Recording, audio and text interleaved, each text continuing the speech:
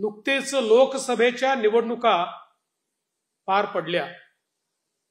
आणि दादांनी सांगितलं की आपल्याला अपेक्षित असा विजय त्यात मिळाला नाही.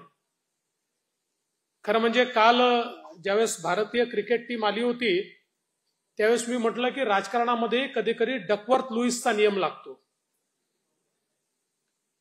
जिंकतं कोणी मत कुणाला मिळतात कुणाचा विजय होतो याचा काही नेम नसतो. आता नुकत्याच झालेल्या महाविकास आघाडी म्हणते आमचा प्रचंड मोठा विजय झालाय.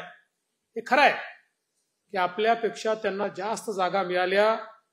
पण आपण जर बघितलं तर महाराष्ट्रामध्ये महाविकास आघाडीला दोन कोटी पन्नास लाख मतं मिळाली आणि महायुतीला दोन कोटी अठ्ठेचाळीस लाख मतं मिळाली. केवळ दोन लाख मतं आपल्यापेक्षा जास्त त्यांना मिळाले पण या दोन लाख मतांमुळे त्यांच्या तीस जागा त्या ठिकाणी आल्या. आता आपण जर निर्धाराने मैदानात उतरलो तर निश्चितपणे पंचवीस लाख मतं आपण त्यांच्यापेक्षा जास्त घेऊ. आणि मी पंचवीस लाख म्हणतोय पन्नास लाख घेऊ. पण वीस लाख मतं जरी आपण त्यांच्यापेक्षा जास्त घेतली तरी देखील दोनशे जागा आपल्या निवडून येतील. एवढी ताकद आणि एवढं पोटेन्शियल आपल्याकडे आहे.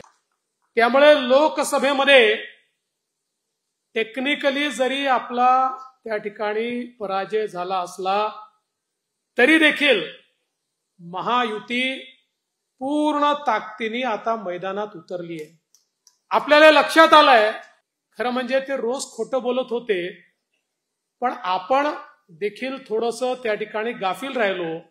की तर नेहमीच खोटं बोलतात. यांच्यावर विश्वास कोण ठेवेल?